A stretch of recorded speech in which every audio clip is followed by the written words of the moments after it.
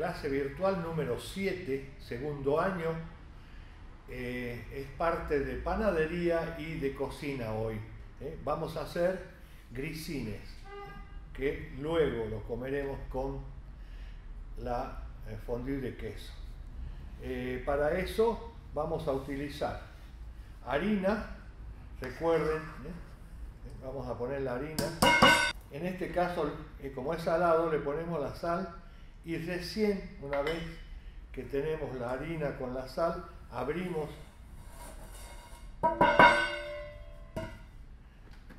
Vamos a poner manteca o margarina con un poquito de extracto de malta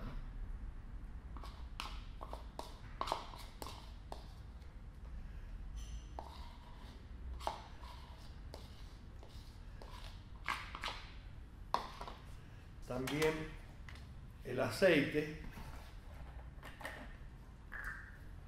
En este caso voy a poner solo una cucharadita.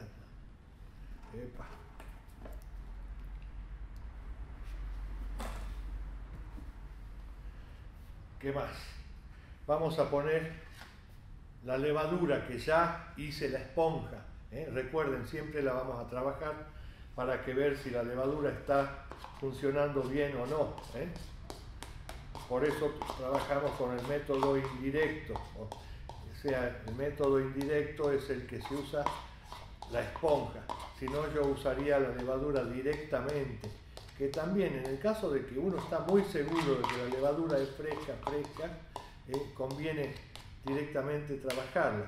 En este caso, como ya es levadura estacionada, ¿eh? no, no sabemos todavía si si está bueno. Y recuerden, siempre vamos a comenzar con el agua que les pide, no vamos a poner todo, vamos a poner solo un poquito. ¿eh? Vamos a comenzar a trabajar.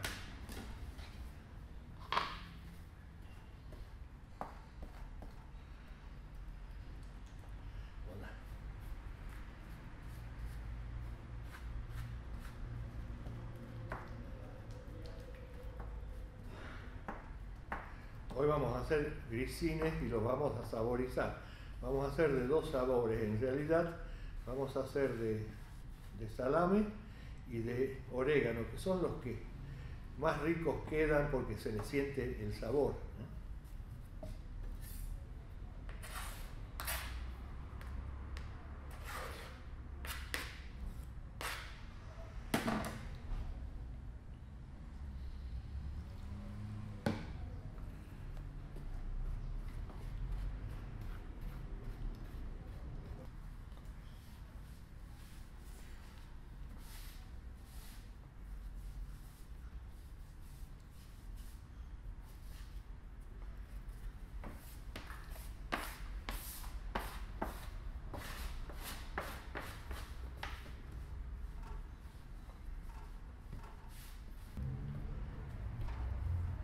Una vez que tenemos el bollo listo, lo vamos a dejar descansar unos 10-15 minutos.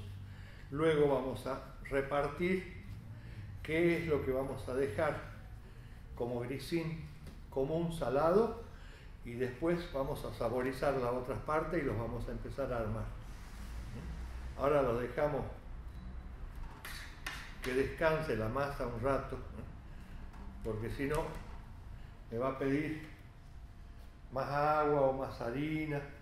¿eh? Yo lo que quiero es que descanse. La dejamos así. Bueno, acá como verán estamos haciendo una salsa blanca o bechamel que va a ser la base de nuestra fondue.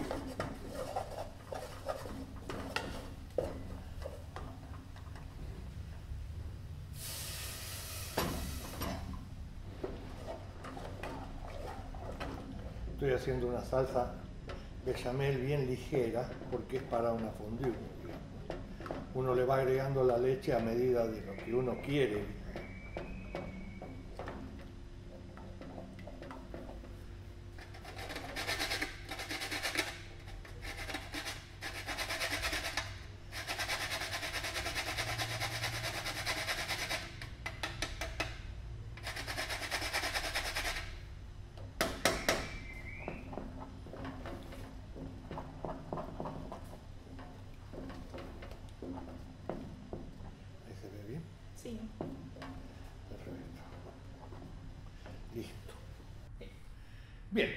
Ya la masa descansó, ahora vamos a separar lo que queremos saborizar, ¿eh? la vamos a dividir en tres partes, ¿eh? más o menos. Vamos a, una la vamos a hacer con, le vamos a poner salame picado fino en brunoise. ¿eh? Ustedes ya saben cómo es. Es el salame ese que usamos para, para fiambrería, para sandwichería. Ese lo van a... y le ponemos todo picadito en brunoise.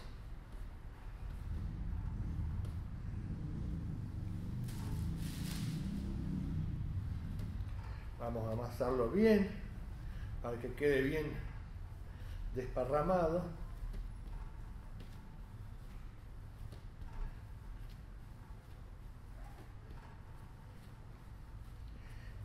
Este tipo de palitos se suelen usar mucho en los restaurantes ¿eh?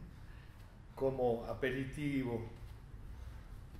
En francés se llama amuse-bouche, o sea, alegra boca, querría decir. Eso para ir entreteniendo a la gente mientras esperan la comida ¿eh? que hayan pedido. Se suele usar mucho esto. Son muy ricos. ¿eh?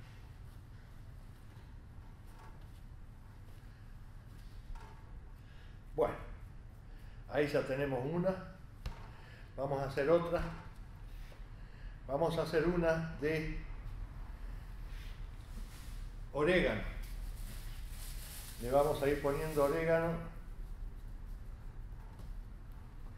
que son las que se sienten más, porque normalmente a veces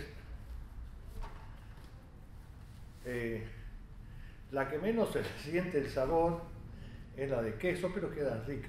De queso, hay que usar algún queso que sea fuerte de sabor ¿eh? y rallado chico. También se le puede poner a otras, se le puede poner queso y ají picante, que quedan ricas también.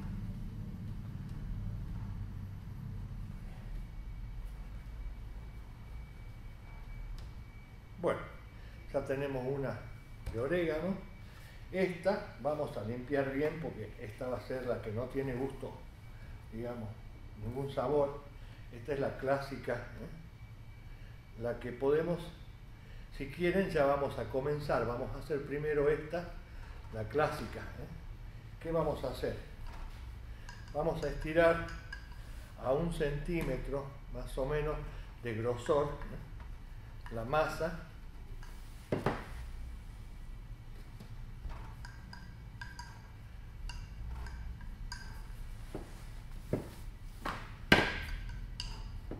Vamos a tratar de hacer un rectángulo.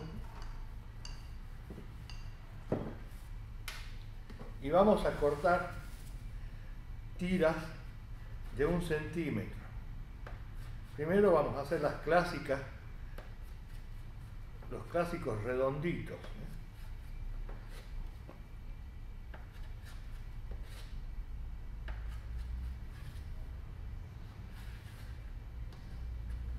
Bien, ¿esto cómo se hace? Mire, ponemos así, hacemos como un triangulito y empezamos a, darle forma. Traten de que quede parejo, que no quede una parte finita, una parte gruesa, ¿eh? porque si no, se queman. ¿eh? Lo vamos esquivando, no muy pegadito, tampoco muy alejado. Este es medio kilo nada más lo que estoy haciendo. Con un kilo salen muchos.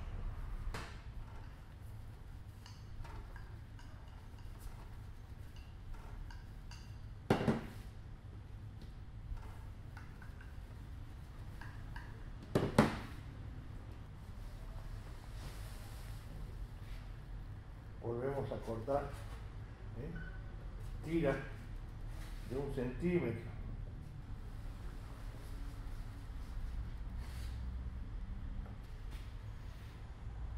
esta si quieren en vez de hacerla redondita la vamos a hacer como una torzada. Las van torciendo, la aplican y acá para que no se destuerzan, las tienen que pegar, o sea, ¿eh? aprietan ahí. Vamos a hacer otro. Siempre tratamos de empezar enroscando desde el centro para que nos queden pareja.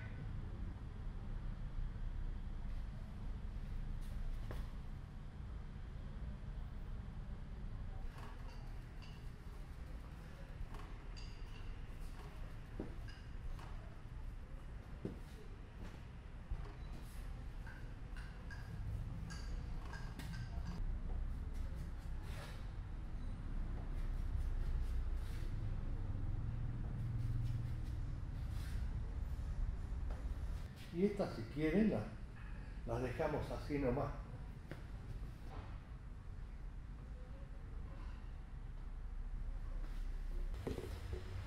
Bueno, clase virtual número 6, segundo año, quesos. Hoy hacemos fondue de queso. Eh, para comenzar, les diré la ollita que se usa para presentar la fondue se llama caquelón. Acá tenemos una. Nosotros necesitamos perfumar la olla con ajo. ¿Yo qué hice? Puse un ajo adentro y lo voy a machacar, lo voy a moler acá adentro como para obtener el jugo del ajo. Lo voy a refregar por todos lados de tal manera que la olla se impregne de sabor de ajo, ¿eh? pero que no tenga el ajo. Yo la voy a untar con ajo y después lo tiro. Esta ollita se usa para la presentación, o sea, vamos a hacer en la olla donde la vamos a cocinar a la fondue, la vamos a perfumar también con ajo. ¿eh? Una vez que yo ya he perfumado bien la ollita con el ajo, lo voy a poner en otra olla donde tengo otro ajo, donde realmente vamos a hacer la preparación.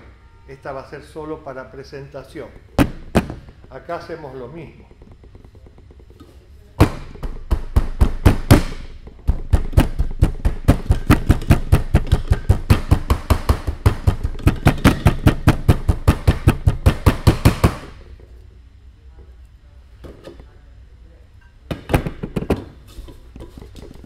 Acá estamos, perfumando también la olla con ajo. ¿eh? Necesitamos el perfume del ajo y no el ajo en sí. ¿eh? Una vez que la olla fue perfumada, la vamos a, vamos a descartar este ajo. ¿eh? Ya tenemos la olla donde vamos a hacer. Lo único que tenemos que hacer ahora es poner todos los ingredientes. Siempre partimos de una bechamel que ya la habíamos preparado. ¿eh? Vamos a partir ahí donde tenemos el perfume de ajo. Vamos a empezar con una bechamel, ¿eh? que hace rato ya la preparamos. ¿eh?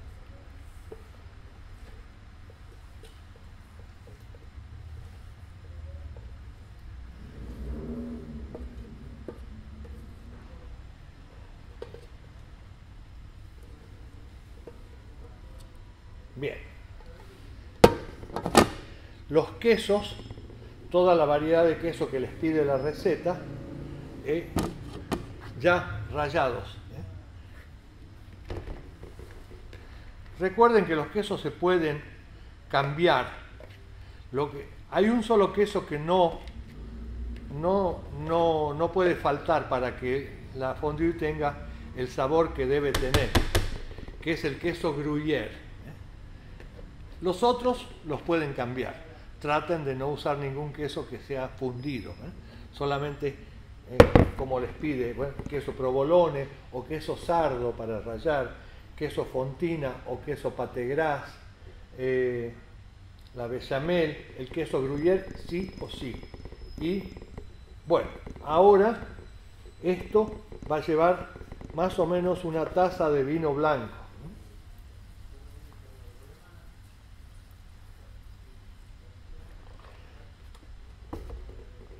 Pimienta negra que la vamos a poner después y la crema también la vamos a poner después. Ahora nos vamos al fuego, a fundir, porque fundir significa eso, fundir. ¿eh? Vamos a ir al fuego. Se le pone luego pimienta y crema. Sal se supone que va a estar bien de sal, así que no, no, va a hacer falta. ¿eh? Ahora esperamos a que se fundan los quesos. ¿eh? Al tener la acidez del vino, se van a fundir los quesos bien. Otra cosita, la receta les pide una copita de kirsch. En este caso no lo vamos a usar y en realidad eh, se puede no usar. El kirsch es un aguardiente de cerezas, ¿eh? que no es dulce, ¿eh?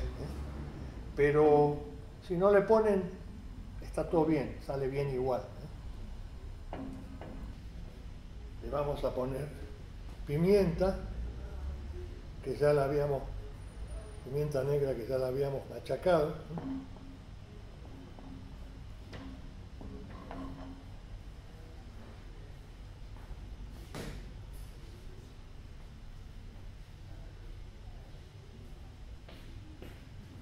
y 100 gramos de crema.